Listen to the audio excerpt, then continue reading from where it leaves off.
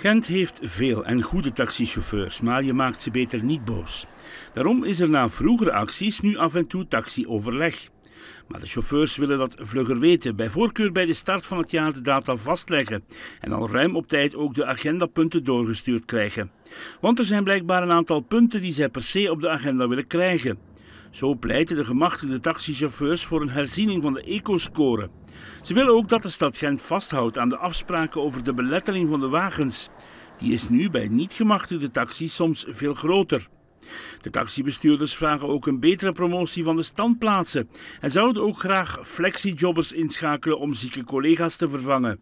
Maar dat is nu niet toegestaan.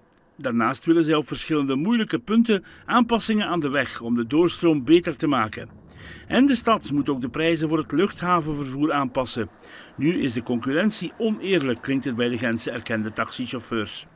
Ze hopen hun punten te kunnen voorstellen op het komende overleg en zo tot oplossingen te komen.